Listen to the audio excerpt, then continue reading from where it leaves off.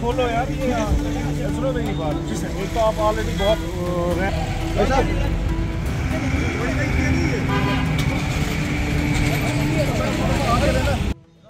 Modification जो भी गाड़ी की करनी है it has to be authorise ये अगर जो आपकी गाड़ी है जिस तरीके से आपने ख़रीदी है, इसको इसी कंडीशन में रखना है।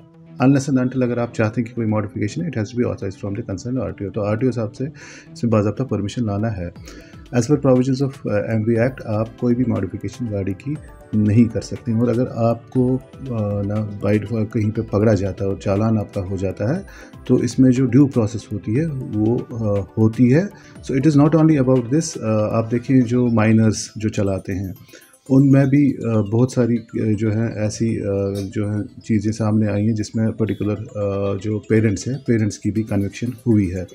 हमारी बारहा लोगों से गुजारिश रही है कि जो मॉडिफिकेशंस हैं, आप देखें, बहुत सारी जो गाड़ियाँ हैं, उनमें मॉडिफाइड लाइट्स लगी होती हैं एलईडी स्ट्रिप्स लगी होती हैं, या अगर आप देखें शैसी को मॉडिफाई करते हैं कलर को चेंज करते हैं तो गुजारिश मेरी रहेगी कि ये ना करें। और अगर आपने करना भी है तो इसमें बाबा आप आर टी ऑफ़िस जाएँ तो ऑथराइजेशन बाबा वहाँ से लेके अगर कोई चेंज आपको करनी है, मॉडिफिकेशन करनी है तो वो करें।